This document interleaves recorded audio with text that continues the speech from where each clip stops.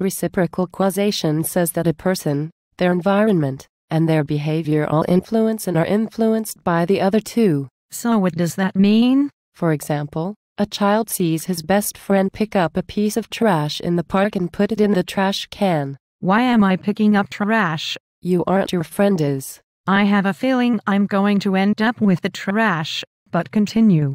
My best friend is picking up trash. Okay, so you see your best friend picking up trash in the park and putting it in the trash can. When you look around, you see other people in the park looking at your friend and smiling. So you look around and decide to pick up trash and throw it in the trash can too.